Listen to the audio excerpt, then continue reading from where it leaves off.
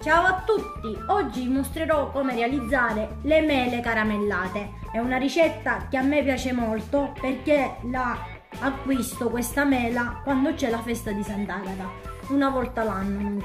Gli ingredienti che vi occorreranno saranno 5 mele rosse, 100 g di zucchero, mezza, mezzo tubetto di colorante rosso in gel, un pizzico di chiodi di garofano, un cucchiaino e mezzo di cannella, qualche goccina di vaniglia, essenza, 50 g di miele, io utilizzerò bosco e campo. Dopo aver lavato le mele, munitevi di bastoncini e infilzate le vostre mele in questa maniera. Così, visto? Mettete tutti gli ingredienti in una pentola dai bordi alti aggiungete due cucchiai d'acqua.